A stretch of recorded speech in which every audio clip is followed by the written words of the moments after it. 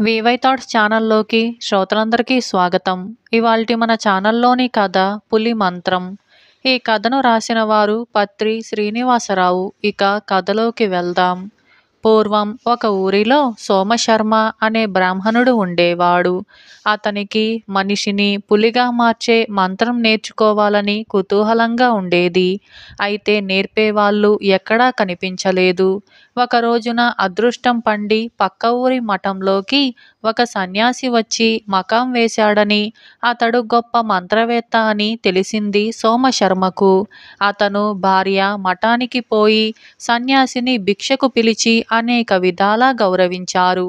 భోజనం అయిన తరువాత సన్యాసి భుక్తాయాసం తీర్చుకుంటూ సంతోషంగా కూర్చున్న సమయాన సోమశర్మ ఆయన్ను ఆశ్రయించి ఆ మాట ఈ మాట చెబుతూ తన కోరిక తెలిపాడు. పులి మంత్రం ప్రమాదకరం. అందుకనే మేము దానిని లోకానికి వెల్లడించము. అన్నాడు సన్యాసి. శర్మ ఆ సన్యాసిని వదలలేదు. సన్యాసికి కాదనటానికి మనస్కరించలేదు. చివరకు సన్యాసి ఇలా అన్నాడు.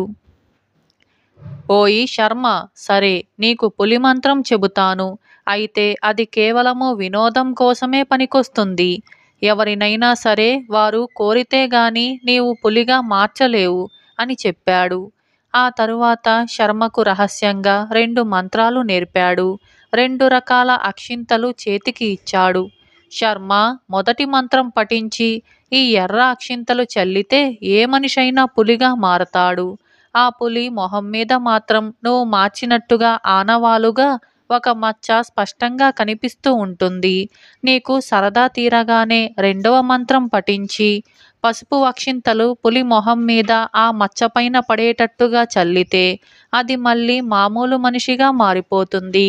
అయితే ఒక్క విషయం మాత్రం జ్ఞాపకం పెట్టుకో నీ మంత్రం వల్ల మనిషి పులిగా మారినప్పుడు దానికి మనుష్య జ్ఞానం ఉండదు. కనుక నువ్వు జాగ్రత్తగా ఉండాలి అని చెప్పి సన్యాసి తన దారిన తాను వెళ్ళిపోయాడు. అలా సన్యాసి వెళ్ళిపోగానే శర్మ భార్యతో ఈ సంగతి అంతా చెప్పాడు. అతని భార్య ఇంతకు ముందెన్నడూ పులిని చూచి ఎరుగదు. అందుచేత పులిని చూపించమని కూర్చుంది. అది కాక శర్మకు కూడా మంత్రం పనిచేస్తుందో లేదో చూడాలని ఆత్రంగా ఉంది. అప్పుడు అతను భార్యతో చూడు పులిగా మారుస్తానంటే ఏ మనిషి ఒప్పుకోడు. వాళ్ళ ఇష్టం లేందే నేను వాళ్ళను మార్చలేను. అందుకని నీకు ఆ మంత్రాలు నేర్పుతాను. నన్ను పులిగా మార్చు. నువ్వు చూడటం పూర్తి అయ్యి నీ సరదా తీరగానే మళ్ళీ నన్ను మనిషిగా మార్చేద్దు గాని అంటూ భార్యకు మంత్రాలు రెండు నేర్పి ప్రయోగించే విధానం చెప్పి అక్షింతలు చేతికిచ్చాడు. తీరా పులిగా మారిన తరువాత తను భార్యకు ఎలాంటి హాని కలగజేస్తాడో అని ఆలోచించి ఆమెను ఒక అటకపైకి ఎక్కించాడు. తరువాత గది తలుపులన్నీ మూసేసి తను అటక కిందకు వచ్చి తయారుగా కూర్చున్నాడు. అతని భార్య కుతూహలం కొద్దీ మంత్రం పఠించి అక్షింతలు చల్లి భర్తను పులిగా మార్చింది. శర్మ పులిగా మారటంతోటే భయంకరంగా గర్జిస్తూ బయటికి పోయే మార్గం లేక గది తలుపులు బద్దలు కొట్టుకోవటం ప్రారంభించాడు. పులిగా మారిన శర్మను చూసి వాని భార్య హడలిపోయింది. ఆ భయంతో ఆమె రెండవ మంత్రం కాస్త మరిచి చక్కా పోయింది. తన చేతిలో అక్షింతలు రెండు మూడు సార్లు పులి మొహాన చల్లింది. కానీ ఏమీ లాభం లేకపోయింది. కొంతసేపటికి ఎలా అయితేనేం పులి తలుపులు బద్దలు కొట్టి ఊరి పక్కన అడవిలోకి పారిపోయింది. పులి అలా పారిపోయిన తరువాత శర్మ భార్యకు కొంచెం మనస్సు స్థిమితపడి రెండవ మంత్రం జ్ఞాపకం వచ్చింది. కానీ ఏం లాభం? తన తెలివి తక్కువ పనికి ఆమె చాలా విచారించి భర్తను గురించి బెంగ పెట్టుకుంది. రెండు నెలలకు ఆమె తమ్ముడు అక్కడికి వచ్చాడు. వానిని వెంటబెట్టుకొని ఆమె ధైర్యం చేసి తన భర్త కోసం అడవిలో వెతకసాగింది. ఇదిలా ఉండగా ఆ రాజ్యంలో కొత్తగా ఒక మచ్చపులి వచ్చి పల్లెల మీద పడుతున్నదని రాజుగారితో ప్రజలు వచ్చి మొరపెట్టుకున్నారు. అప్పుడు రాజుగారు వాళ్ళకు మీకు వచ్చిన భయం లేదని చెప్పి పులిని చంపటానికని పరివారంతో సహా అడవికి బయలుదేరాడు. ఎంత వెతికినా ఆ మచ్చపులి కనపడకపోవటంతో విసిగి వేసారి రాజుగారు ఒక చెట్టు నీడలో విశ్రాంతి తీసుకోబోయాడు. అంతలోనే ఆయనకు వెనక నుంచి ఒక గర్జన వినపడింది. చూడగా అలా గర్జించింది మచ్చపులే. అది పంజా ఎత్తి రాజుగారి మీదికి దూకింది. దానితో పై ప్రాణాలు పైకి ఎగిరిపోయాయి రాజుకు. కానీ ఆయన ఆశ్చర్యపడేటట్టుగా చూస్తూ ఉండగానే ఆ పులి బ్రాహ్మణుడుగా మారిపోయాడు. అతడే సోమశర్మ ఒక చేయి ఎత్తి పట్టుకొని రెండవ చేతితో రాజుగారి గొంతు నొక్కి పట్టుకొని ఉన్నాడు. శర్మకు పులిగా మారిపోయిన క్షణం నుంచి తను ఏమేం చేశాడో తెలియదు. అకస్మాత్తుగా అడవిలో అతనికి మానవ రూపం వచ్చేసరికి తను ఈ అడవికి అసలు ఎందుకు వచ్చాడో రాజుగారి గొంతు ఎందుకు నొక్కి పట్టుకున్నాడో అర్థం కాలేదు. శర్మ వణికిపోతూ రాజుగారి కాళ్ళ మీద పడి క్షమించమని ప్రార్థించాడు. ఆశ్చర్యంలో మునిగిపోయాడు రాజుగారు. ఆయనకు ఇదేమీ అర్థం కాలేదు. ఆ సమయంలో పక్కన ఉన్న చెట్టు మీది నుంచి ఒక స్త్రీ దిగి వచ్చింది. ఆమె వనదేవత కాబోలు అనుకున్నాడు రాజు. పైగా పులి నుంచి తనను రక్షించింది ఆ దేవతే అని అనుకొని వెంటనే ఆమెకు నమస్కరించాడు. ఆమె వనదేవత కాదు సోమశర్మ భార్యే. రాజుగారు తెల్లబోయి చూస్తూ ఉన్నాడు. ఆమె రాజుకు తన కథ అంతా చెప్పింది. పులిగా మారిన భర్త కోసం అడవిలో తిరుగుతూ ఉంటే మచ్చపులి అక్కడకు రావటం సంభవించింది. వెంటనే ఆమె గుర్తుపట్టి చెట్టు ఎక్కి కూర్చుంది. రాజుగారి పైన ఆ పులి పంజా ఎత్తగానే ఆమె అక్షింతలు చల్లి తన భర్తకు తిరిగి మామూలు స్వరూపం వచ్చేటట్టుగా చేసింది. తనకు ప్రాణదానం చేసిన ఆమెను మెచ్చుకొని రాజుగారు సోమశర్మకు తన ఆస్థానంలో గొప్ప ఉద్యోగం ఇచ్చాడు అప్పటి నుంచి ఆ భార్యాభర్తలు సుఖంగా కాలక్షేపం చేస్తున్నారు. వాళ్ళ ఇద్దరికీ పులి మంత్రం సరదా తీరటమే కాకుండా నాటి నుంచి వాళ్ళ వంశానికి మచ్చపులి వంశం అని సార్థకమైన పేరు వాడుకలోకి వచ్చింది. కొంతకాలానికల్లా సోమశర్మకు మంత్రం నేర్పిన సన్యాసి మళ్ళీ రావటం తటస్థించింది. శర్మ సంగతి విని సంతోషించాడు. ఇలా పులి మంత్రం అనే ఈ కథ సమాప్తమైంది. అలాగే మరొక కథ చిత్రమైన శిక్ష. ఈ కథను రాసిన వారు కెఎస్ఎస్ రావు. ఇక కథలోకి వెళ్దాం. పూర్వకాలమందు కాశ్మీరు రాజ్యంలో ఒక శిల్పి ఉండేవాడు. అతడు వట్టి సోమరిపోతూ ఏ పని గడువు లోపల చేయడమే లేదు. అతడు ఎరుగనే ఎరగడు అట్లా పని చేయటం అనేది ఆనాడు కాశ్మీరు రాజ్యాన్ని ఏలే రాజు చాలా బుద్ధి కుశలత కలవాడు. ఎంత పెద్ద నేరం చేసిన వాళ్ళకైనా శిక్ష విధించేవాడు కాదు. నొప్పించకుండా నవ్విస్తూ నవ్వుతూ మాట్లాడుతూనే బుద్ధి చెప్పి వాళ్ళ తప్పు వాళ్ళు తెలుసుకునేటట్టుగా చేసేవాడు. ఆ ప్రభువు ఒకప్పుడు ఈ శిల్పిని పిలిపించి నదీ తీరాన ఒక దివ్య భవనము ఉద్యానవనము నిర్మించమని ఆజ్ఞాపించాడు. కొన్ని సంవత్సరాలు గడువు కూడా పెట్టాడు. రాజాజ్ఞ ప్రకారం శిల్పి వెంటనే పని ప్రారంభిస్తానని అన్నాడు. కానీ సంవత్సరం గడిచిన భవనానికి ఒక ఆకారం అంటూ ఏర్పడలేదు అదేవిధంగా ఏ పని పూర్తి కాకుండా రెండవ ఏడు కూడా గడిచిపోయింది. మూడవ ఏడు నాలుగవ ఏడు కూడా అలాగే వ్యర్థంగా గడిచిపోయాయి. నాలుగేళ్ళ తరువాత ఒక రోజున రాజు తన భవనము ఉద్యానవనము ఎంతవరకు తయారైనవో చూద్దామని వెళ్ళాడు. చూస్తే ఏముంది? పని లేదు పాటు లేదు. శిల్పి ఒక పెద్ద చలువరాతి పైన కూర్చొని పని వాళ్ళతో కథలు కబుర్లు ఊసులు చెప్పుకుంటూ నవ్వులాడుతూ ఉన్నాడు. ఇదంతా చూశాడు రాజుగారు. కానీ కొంచెమైనా శిల్పిని కోపడలేదు మందనించనైనా లేదు. రాజును చూస్తూనే శిల్పి లేచి నిలబడి దండం పెట్టి ప్రభు మీ రాక వలన ఈ ప్రదేశమంతా పావనమైంది. ఈ స్థలంలోనే భవనం కట్టాలని నిర్ణయించాను. ఇక్కడ నేను నిర్మించబోయే ఆ దివ్య భవనాన్ని చూసి దేశ దేశాల రాజులు చక్రవర్తులు పాదుషాలు అయ్యో మాకు ఇటువంటి భవనం లేకపోయే కదా. అని అసూయపడతారు. భవనం చూసిన యాత్రికులు వాళ్ళ దేశాలకు పోయి అక్కడ దీని అందచందాలను గురించి వెయ్యి విధాలా పొగుడుతారు. కవులు తన్మయులైపోయి పద్యాలు కడతారు అని అన్నాడు. ఈ మాటలకు రాజు మనస్సులో నవ్వుకొని ఓయి శిల్పి నీ తెలివితేటలకు నేను సంతోషించాను. ఒక చిన్న కథ చెబుతాను విను అనగనగా ఒక రైతు వాడు సోమరి దున్నవలసిన కాలంలో భూమి దున్నక చల్లవలసిన ఋతువులో విత్తనాలు చల్లక చూడండి నా భూమి ఎంత సారవంతమైనదో అని పొగుడుకుంటూ కూర్చునేవాడట. తీరా చూస్తే ఏముంది? భూమి నిండా కలుపు చెత్త కనబడేది. చెమటోడ్చి కాయ కష్టం చేస్తే భూమి పండుతుంది కానీ మాటలతో అవుతుందా? చెప్పు. అయితే నువ్వు అలాంటివి వాడివి కావులే. నీ పని చూసి మెచ్చుకొని బహుమతి ఇద్దామని వచ్చాను. ఏది? నువ్వు నిర్మించిన దివ్య భవనాన్ని చూపించు అంటూ ముందుకు అడుగులు వేయసాగాడు. రాజు తనను నిజంగానే పొగుడుతున్నాడని మురిసిపోయాడు శిల్పి. పూర్తి కాని మండపాలు కొంచెంగా చెక్కి నిలిచిన స్తంభాలు పైకప్పు లేని గదులు ఇటువంటివన్నీ రాజుకు చూపిస్తూ ఇంకా పెద్ద కబుర్లు చెప్పటం ప్రారంభించాడు శిల్పి. శిల్పి చెప్పిన ఈ కబుర్లు వినగానే అతని సంగతి పూర్తిగా అర్థమైపోయింది రాజుకు. ఆహా నువ్వు ఎంత గొప్ప శిల్పివి ఎంత త్వరలో భవనం నిర్మించేశావు ఎంత అందంగా ఉంది చూడటానికి రెండు కళ్ళు చాలవే అని స్తోత్రం చేశాడు రాజు.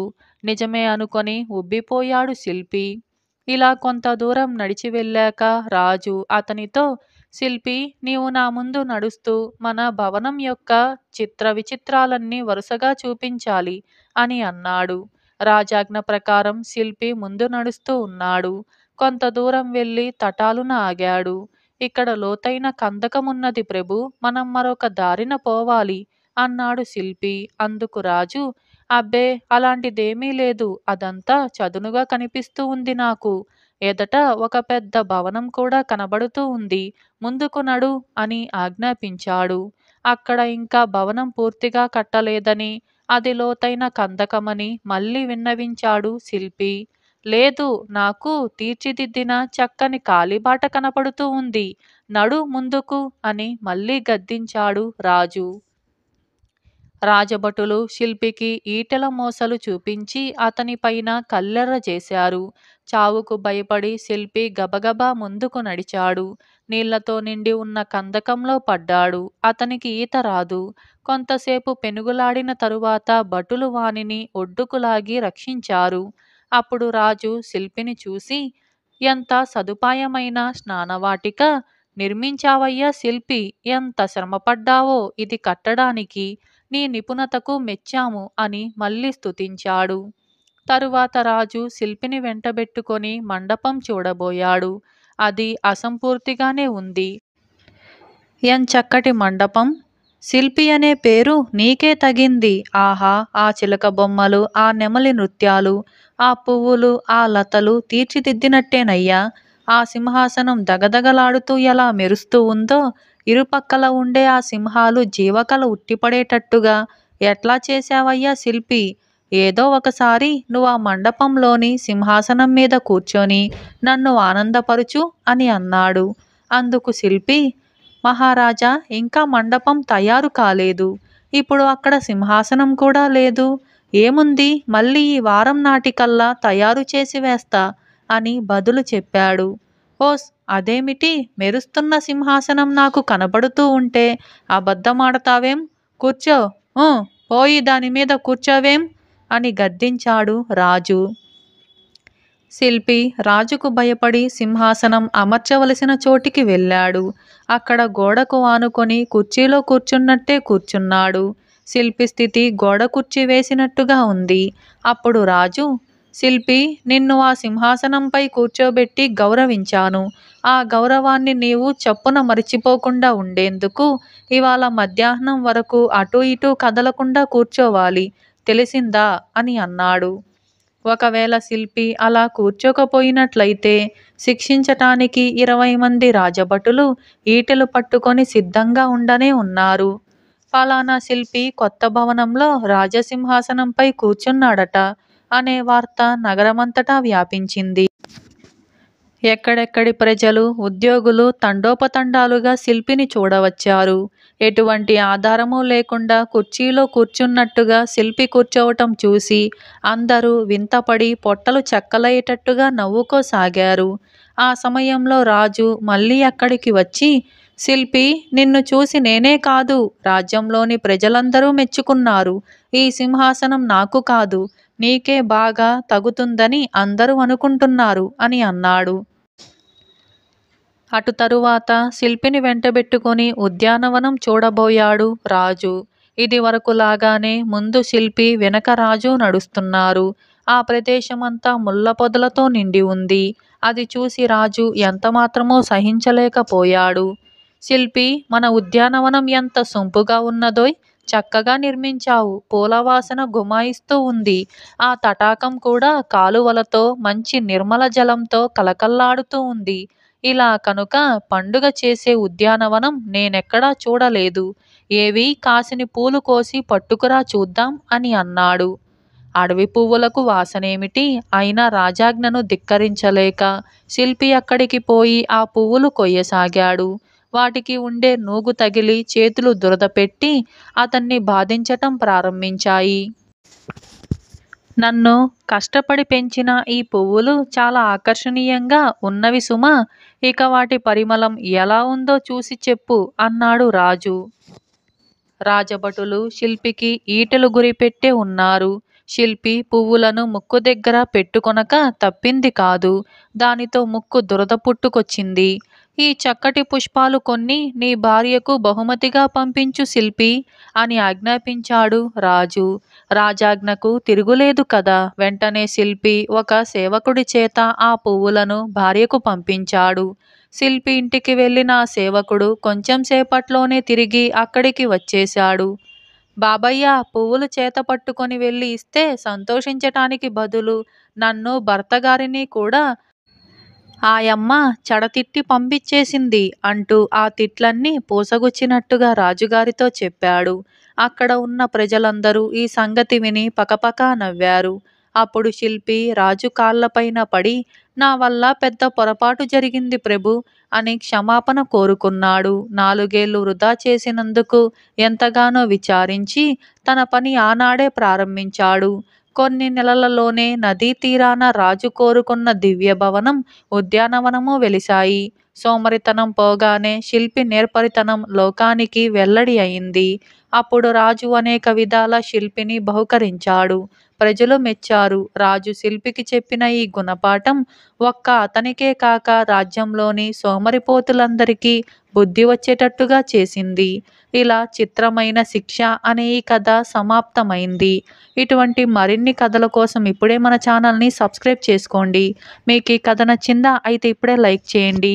ఇటువంటి మరిన్ని కథల కోసం like share subscribe and comment. అలాగే చందమామ కథల్ని మీరు కూడా మాలాగే చదివి ఆనందించాలని అనుకుంటున్నారా?